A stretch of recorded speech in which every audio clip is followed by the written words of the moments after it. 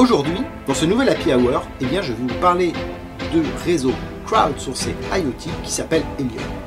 Alors des réseaux comme ceux-là, qui fonctionnent sur la technologie LoRaWAN, je vous en ai déjà présenté un, je pense plusieurs fois ici, qui s'appelle The Things Network. The Things Network est un réseau IoT crowdsourcé avec une vocation communautaire. C'est-à-dire qu'en fait, il s'inspire de l'environnement open source pour proposer le déploiement d'un réseau qui va être à usage gratuit pour la communauté qu'il constitue. La vision Helium est une vision différente. C'est une vision d'investisseur qui va reposer cette fois sur une blockchain de façon à permettre une rémunération des acteurs de ce réseau crowdsourcé grâce à un système automatisé et décentralisé piloté par la blockchain. En quelque sorte, on est en train de parler de l'uberisation du monde des télécoms et c'est en ça cette approche est particulièrement intéressante. Alors pour que ça fonctionne, eh bien puisqu'on parle de rémunération et qu'on parle de blockchain, eh bien il va y avoir derrière tout ça un token pour arriver à gérer ces transactions. En fait, en réalité, il y a deux tokens dans le cadre d'Helium. Un premier token qui s'appelle le HNT et qui est en quelque sorte le token principal. Ce token-là, il va pouvoir être échangé sur des places de marché et il va donc être valorisé par des investisseurs en fonction du potentiel du réseau. C'est ce token qui va permettre la rémunération des différents acteurs. De l'autre côté, il y a des gens qui ont besoin d'utiliser ce réseau. Et les utilisateurs du réseau, eux, ne souhaitent pas utiliser un token qui va fluctuer en valeur sur le marché, car ça leur donnerait une impossibilité de prédire leur propre coût. Par conséquent, un deuxième token a été créé, celui-ci s'appelle le DC, et ce token a un taux de conversion qui est fixe par rapport au dollar un DC vaut 0,00001 dollar. Et un DC va correspondre à l'émission sur le réseau de 24 octets de données. Si vous émettez plus, vous consommez plus de DC. Nous avons donc ces deux monnaies. Et ces deux monnaies, en fait, vont fonctionner ensemble avec des systèmes de génération et de destruction. En fait, l'objectif à la fin, c'est que la génération des tokens HNT se fasse par la destruction des tokens DC. Et que l'on ait donc un équilibre entre ces deux tokens qui apportent la valeur réelle et tangible du HNT de façon à ne plus être dans un système de spéculation lié au marché, mais lié à un vrai euh, système d'offres et de demandes qui amène une valorisation qui est concrète. C'est en soi que je trouve que cette blockchain est intéressante, c'est parce qu'elle est tangible avec quelque chose qui sert à la communauté et avec, à la fin, une valorisation de ce token qui est directement lié à la loi de l'offre et de la demande. Aujourd'hui, tout ça est très spéculatif parce qu'il y a un enjeu important et que les investisseurs y trouvent derrière un intérêt. Alors cette blockchain, elle va permettre un certain nombre d'opérations, et je vous ai parlé des opérations un peu classiques que va réaliser un opérateur télécom. Par exemple, L'ajout d'une station est une opération gérée par la blockchain, comme sa localisation, comme euh, le fait de transférer des données est aussi une opération qui est gérée par la blockchain. Attention, la blockchain ne va pas contenir les données qui ont été transférées, elle va simplement permettre de gérer la facturation des groupes de données qui vont être transférés, de la même façon que fait aujourd'hui un opérateur. Alors, les opérations dont je viens de vous parler sont des opérations qui sont consommatrices de DC, c'est-à-dire qu'elles vont détruire de ce token quand elles vont être réalisées. Il y a par ailleurs des opérations qui sont génératrices de HNT, qui sont les opérations qui touchent de près les mineurs, qui touchent de près les gens qui déploient le réseau de hotspot.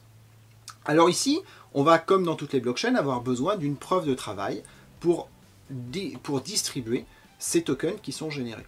Et on n'est pas dans une preuve de travail qui passe par un calcul mathématique, mais puisqu'on est dans un réseau qui existe d'un point de vue physique, on va être sur ce qu'on appelle une preuve de couverture.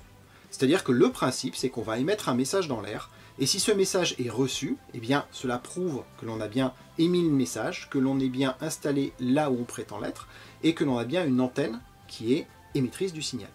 De l'autre côté, ceux qui reçoivent les messages prouvent par la même occasion qu'ils sont aussi présents dans ce même espace et qu'ils ont bien une capacité à recevoir des messages et donc à traiter les messages émis par des objets. Donc ça, c'est ce qu'on appelle la preuve de couverture et c'est aujourd'hui cette partie-là qui va être la plus génératrice de HNT. Demain, ce sera plutôt le transfert de données, le, fait qu'une antenne reçoive des données et les transfère vers un network server, qui sera à la source de la génération de ces tokens HNT. L'objectif, c'est d'avoir une génération de tokens qui soit euh, à un rythme régulier. Aujourd'hui, on a à peu près à 6000 tokens qui sont générés toutes les heures. Ce rythme va être divisé par deux quand on va arriver au mois d'août. Mais ce qui est important au global, c'est qu'il y a un nombre maximum de tokens qui va pouvoir être généré dans le temps qui est au-dessus de 200 millions. Il n'y aura pas plus de tokens HNT générés, et en fonction de la consommation de DC qui va donc détruire ces HNT, eh bien, il va y avoir une valorisation associée du HNT par rapport au volume de DC consommé qui les détruisent. Enfin, il y a quelques opérations, comme le fait de décider du taux de change entre DC et HNT, qui est réalisé par ce que l'on appelle des oracles, donc des gens qui vont regarder les prix sur les marchés et déterminer la valeur à utiliser.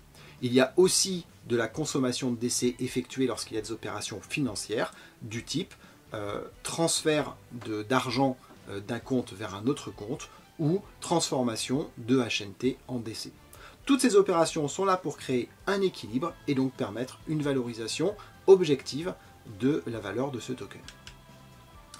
Ce qui est très intéressant derrière ça, c'est que cette vision investissement a permis de déployer très rapidement le réseau parti au mois de juin dernier autour de 3000 antennes déployées dans le monde, il est aujourd'hui à 19 000 antennes déployées dans le monde. Cette croissance est impressionnante quand on prend en considération et en comparaison quelques réseaux qui sont existants, comme par exemple le réseau Obgenius déployé par le groupe Bouygues qui couvre 95% du territoire français avec à peu près 4000 antennes.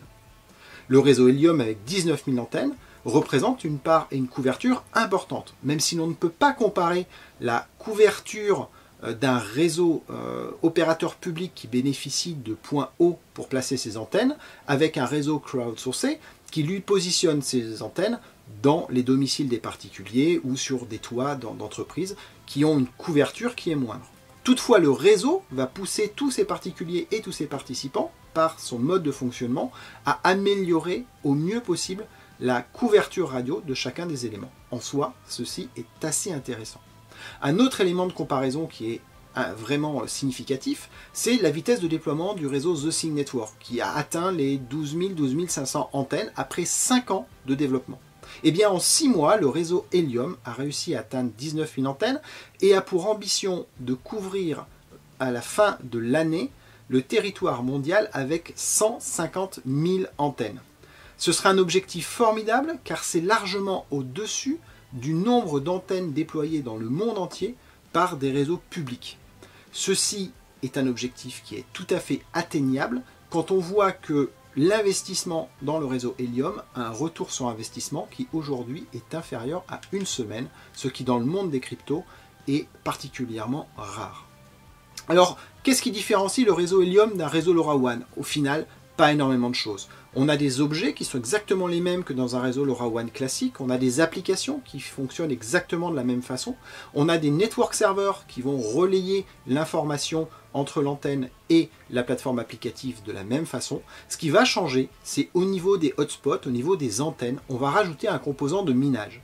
Ce composant est un ordinateur de puissance raisonnable, puisqu'il est en général basé sur des Raspberry Pi Compute Module 3 ou Compute Module 4, et ces mineurs sont reliés ensemble sur un réseau décentralisé peer-to-peer. C'est eux qui vont faire toutes les opérations de la blockchain et qui vont router le trafic vers les network servers. Point très intéressant de Helium, c'est que les network servers peuvent être multiples. Ainsi, un opérateur public comme Bouygues peut tout à fait se raccrocher au réseau Helium pour étendre sa couverture. Le réseau étant facturé 15, fois moins cher que ce que euh, Bouygues facture à ses clients, il peut dégager une marge significative et ainsi s'offrir une couverture plus large et une couverture mondiale à un tarif tout à fait raisonnable. Et ce modèle commence à intéresser un certain nombre d'opérateurs LoRaWAN. C'est donc aussi en ça que c'est à surveiller. Je vous ai parlé du mécanisme de POC qui régit la création des HNT. On va essayer de le regarder un peu plus en détail pour mieux le comprendre. Et eh bien dans le principe du POC, il y a de façon aléatoire un hotspot qui va générer un challenge. En fait, chaque hotspot va générer un challenge tous les 240 blocs, c'est-à-dire à peu près tous les 4 heures. Ce challenge va être envoyé de façon aléatoire à un autre hotspot qui va émettre ce challenge dans les airs. Les hotspots qui sont à proximité vont recevoir le message, vont l'écrire dans la blockchain et réaliser ce que l'on appelle un witness, c'est-à-dire une preuve de réception. Ainsi, on aura pu euh, identifier qu'un hotspot est à côté d'autres hotspots et que tous ces hotspots fonctionnent correctement pour ce qui est de l'émission et de la réception de données, qui est ce que l'on recherche. D'un point de vue création de HNT, on voit que le challenger, celui qui émet le challenge, reçoit une petite part, 0,07 HNT. Celui qui émet le challenge, le challengee, lui va toucher à peu près un hélium. Et ceux qui reçoivent le challenge, les witnesses, reçoivent eux deux héliums chacun. C'est de cette façon-là qu'est répartie aujourd'hui la création de la monnaie. Pour comprendre la mécanique derrière de génération des décès, une fois qu'un mineur possède des HNT, il les met dans un wallet. Ce wallet appartient au propriétaire du mineur, qui a la possibilité soit de les échanger sur une plateforme comme Binance pour les transformer en euros, en dollars ou en bitcoin, ou alors il a la possibilité de les transformer en DC. S'il les transforme en DC, dans ce cas-là, ils vont pouvoir être consommés par des objets lorsqu'ils vont communiquer. Ces objets, lorsqu'ils communiquent, transforment ces DC en les détruisant de façon à générer les HNT. Et c'est de cette façon que l'on a un équilibre entre génération de HNT et utilisation des DC. Le réseau est en train de se déployer à l'échelle mondiale. En France, il est vraiment tout juste en train d'arriver. Il y a quelques centaines de hotspots qui sont déployés à ce jour. Sur Clermont-Ferrand, nous en avons trois, deux déployés par des particuliers et un déployé par la société Emrit, dont je vais parler dans un instant. Le décollage du réseau en France a été ralenti par la pénurie de matériel euh, que nous avons connue sur la fin d'année. La demande étant trop importante, les euh, fabricants de matériel ont eu du mal à fournir.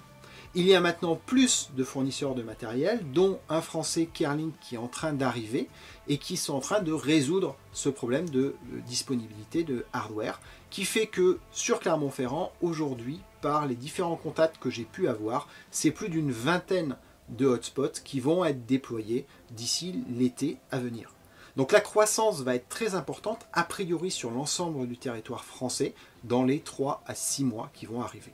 Il est intéressant de parler du cas d'Emrit, une société américaine qui a trouvé un business intéressant qui consiste en fait à fournir gratuitement aux gens des hotspots et de leur reverser 20% des revenus de ces hotspots. C'est un business qui est particulièrement rentable pour Emrit puisque le retour sur investissement d'un hotspot est à peu près d'une semaine et qui permet de toucher des gens qui ne connaissent pas trop euh, la blockchain, qui ne connaissent pas trop le monde des télécoms et qui voient uniquement ces boîtiers comme une source de revenus complémentaire.